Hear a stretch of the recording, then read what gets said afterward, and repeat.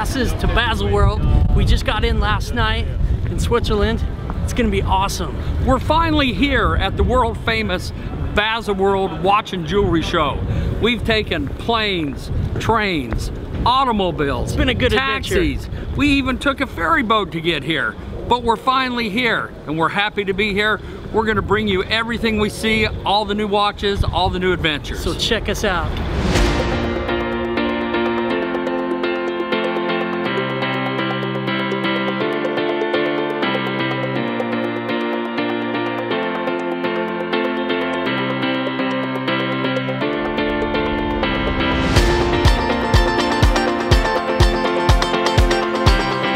When you come to Basel World, one thing that's really gonna stand out is the booths that these vendors have.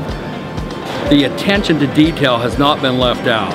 These booths are amazing. When you walk into them, it's like walking into just a luxury event. They really want to showcase, highlight their watches, and believe me, they've really done it with these booths.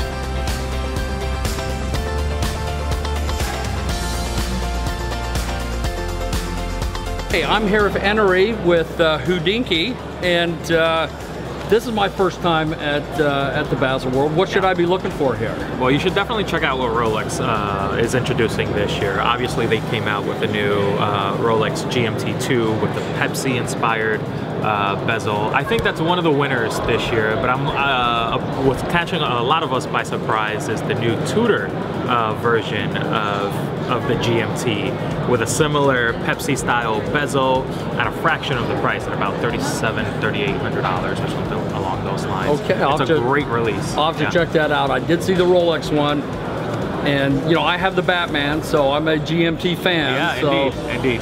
So uh, I'm looking forward Yeah, to that. I'll, I'll check out the Tudor. Rolex always, Rolex and Tudor always come out with the heat. Thanks for your time, Of course, and you anytime. enjoyed the show. Likewise.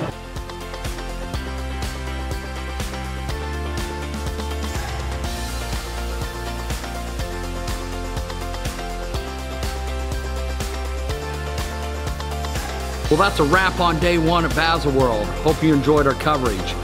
We met a lot of really interesting people. We saw some cool watches, some really neat releases.